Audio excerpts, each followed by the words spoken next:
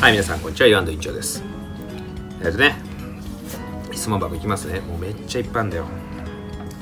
これさ多分すごいあの 難しい話題も質問もいっぱいあったんだけど一番頭抱えた？これすごい。質問これ、えー、全ての漫画アニメのキャラの中で一番友達になりたいのは誰ですか？何したり何を語ったりしたいですか？と。またお店で働いてほしいキャラクター教えてくださいと。これ悩むよなこれ。絶対悩む。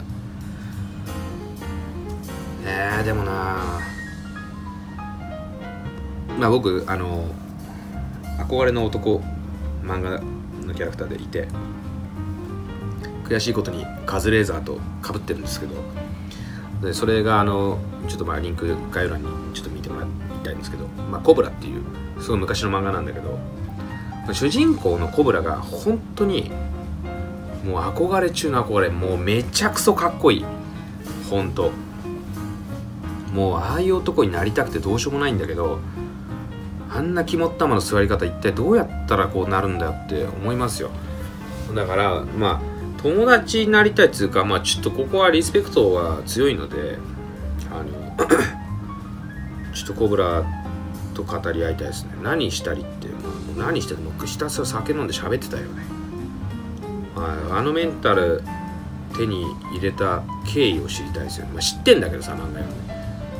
そういう乗り越える力が強いんだよね。どんな苦境にあってもね。そういう男になりたいよね。この苦境の中でもなんかこうユーモアっていうか、うん、そういうの忘れないっていうのに憧れるんですよ。はい。なのでまあ、ちょっとね古い漫画で、まあ、今はもう何人かにポツポツと連載をしてたりするのかな「週刊少年ジャンプ」で連載したんですけど、まあ、アニメにもなってお店で働くとなるとさちょっとなんか握力が500キロあるらしいからさちょっと整体師向いてないよね、はい、なので店で働いてほしいキャラっつったら何？東方丈介。もうなんだこれ治らねえよこの症状みたいなとこ。バチンポンって治すみたいな。ダメですかそういう。あないですか。はい。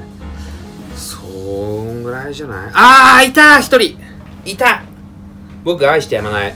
キャラクター店で働いてほしいキャラ。言っていい？最近ちょっとあんまり見てないんですけどトニートニーチョッパーです。最高。チョッパーがいたら和むでしょここに。ね。ということでですね、えー、友達になりたい。キャラクターは、えー、宇宙海賊コブラ。ね、えー、一緒にくっさいウイスキーを飲みたいですね、はい、お店で働いてほしいのはチョッパーですね。もう座ってればいいからみたいな。はい。そんな感じです。ご視聴ありがとうございました。よかったらチャンネル登録の方よろしくお願いいたします。キモ